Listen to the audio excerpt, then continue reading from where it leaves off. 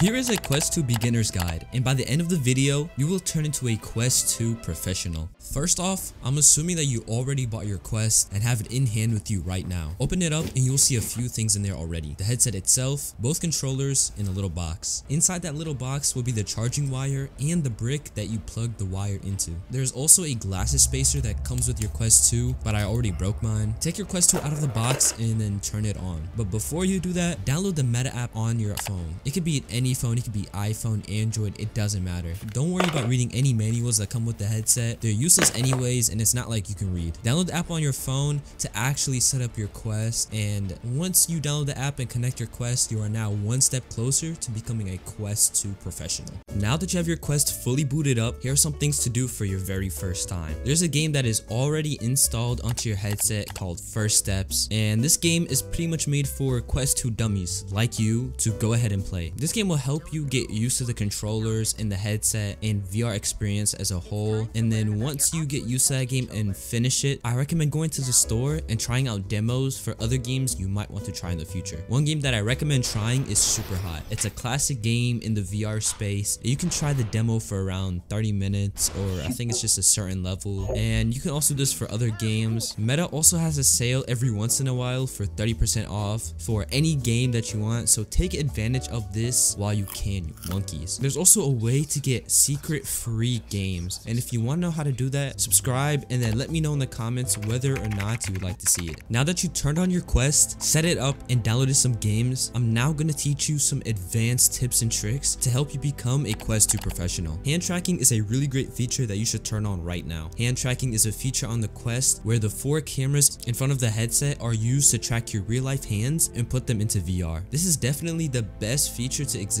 on the Quest and if you want to turn it on, go into settings, then movement tracking, and then you can turn on hand tracking from there. Hand tracking is useful for times where you're feeling lazy, the times when you don't have the controllers on you and you just want to scroll around through the menus, or when you want to play a game that actually supports hand tracking. Here's another tip that I have on making you a professional Quest 2 user. On the headset, you can actually download apps that you normally use on your phone. You can watch your favorite YouTuber, which better be me, on YouTube inside your headset, or watch your favorite Netflix show, or you could be like your old grandma and use the Facebook app inside of the headset if you want. If you want to learn how to use these apps, simply just go into the store and search up any app that you want. Not all apps are going to be on the headset though, just giving you a heads up. Before the video continues, I want to give you a warning. And if you don't listen, this can stop your progress on becoming a Quest 2 professional and even break your Quest 2 entirely. My warning to you is to keep your headset away from the sun. If your headset is ever left facing a window, there's going to be sunlight going into the lens and then your Quest 2 will be damaged. Your Quest 2 will suffer from lens burn-in, making it completely unusable. What I recommend doing is buying a VR cover for your headset lens. They're really cheap, you can just find them on Amazon. But if you're too broke to afford that, then simply just keep it away from the sun in general, or put like a, a rag on it. We're now halfway on you becoming a Quest 2 professional. But before we get there, I want to give you another tip, and that's about saving battery life. In order to save your Quest 2's battery life for the longest, you want to follow a simple rule. When charging your Quest 2, only let it get to around 85%, and when you use it, don't let it go below 20%. What this does is save your battery life from being ruined in the long run. Now, no matter what you do, your Quest 2's battery life will get worse over time, but by following this rule, you can at least save it by a little. There's also another life hack that I want to talk about, and this one is thanks to one of my viewers. I learned a new way to get more battery out of my Quest. If you have a phone battery pack or an extra battery case somewhere, you can actually plug that into your Quest and just get extra juice out of it, rather than just wasting a lot of money on a head strap that includes a battery pack. This is just a fun little thing I learned from my viewers and shout out to whoever said that. Here's a tip that can save you a lot of time. You can actually take quick and easy screenshots with your controllers. This is meant for those moments in game where you want to take a quick picture or capture a funny moment in Gorilla Tag. To do that, hold the Oculus or the Meta button on your controller and press the trigger.